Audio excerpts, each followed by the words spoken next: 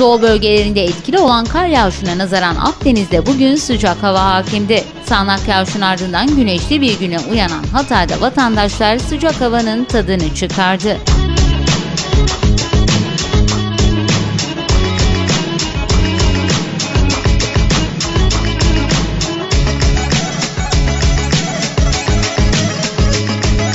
Son bir haftadır sağanak yağmur ve Poyraz'ın etkisi altına giren Hatay'da yağmur yerini güneşe bıraktı. Sıcaklığın gündüz 15 dereceye kadar yükseldiği Hatay'da vatandaşlar kendilerini sokağa, parklara attı.